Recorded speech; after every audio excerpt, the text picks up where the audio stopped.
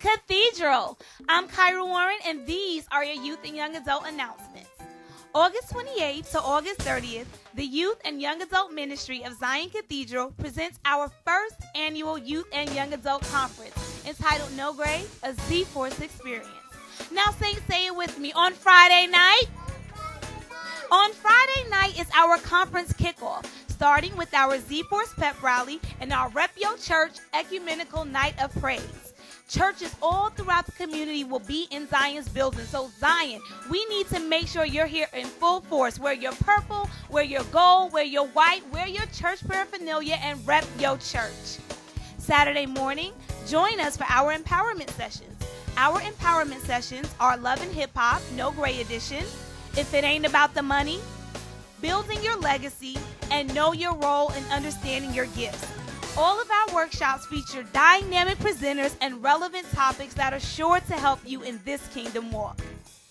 And Saturday night, all the way from Chicago, Illinois, gospel recording artist, Mr. No Gray himself, Jonathan McReynolds, will be live and in the building.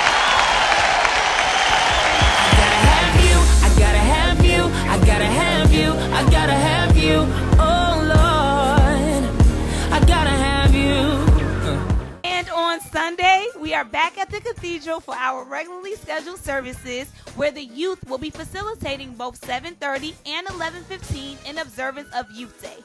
Now trust me, you do not want to miss the opportunity to be a part of this conference. Registration for the No Gray Conference is simply $15.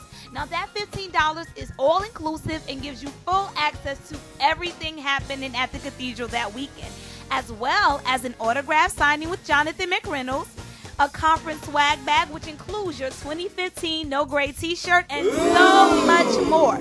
So youth and young adults, make sure you're in the building. If you're connected to a youth or a young adult, sow into their life, make an investment, get them registered, and make sure they're in the building. You do not want to miss it.